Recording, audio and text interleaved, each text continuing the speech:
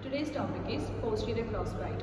Posterior crossbite refers to an abnormal transverse relationship between the maxillary and mandibular posterior teeth.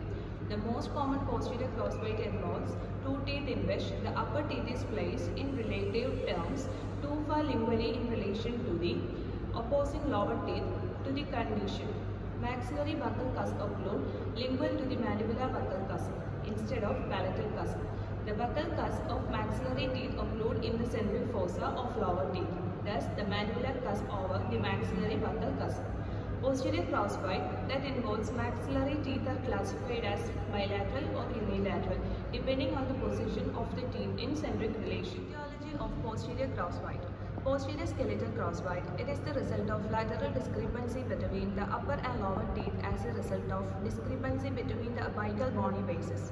It is usually bilateral in origin. It is also appears as unilateral posterior crossbite. The next one is posterior dental crossbite. Prolonged retention of deciduous teeth resulting in palatal deflection of its erection successor causing single tooth crossbite. Next is functional posterior crossbite. It is caused by an occlusal interference that to shift laterally during jaw closure in order to achieve maximum occlusion. Thank you.